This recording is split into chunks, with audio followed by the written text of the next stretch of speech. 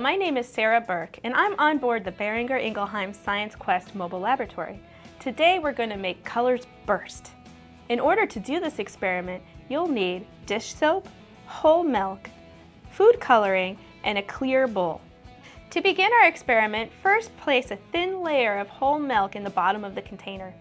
Then, using the food coloring, place little circles around the center, but make sure that the food coloring circles aren't touching. Now pour a few drops of dish soap into the center of the bowl. You should notice an explosion of colors. So how did you create this burst of color? Whole milk has a lot of fat in it, and dish soap helps disperse and break apart the fat.